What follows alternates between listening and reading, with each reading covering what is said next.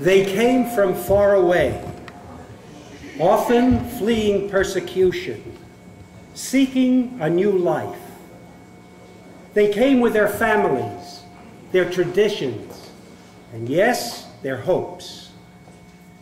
A community grows by baby steps.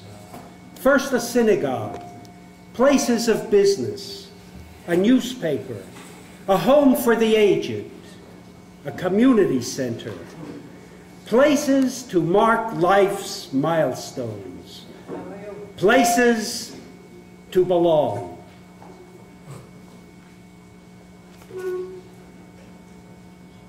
I believe I remember it too.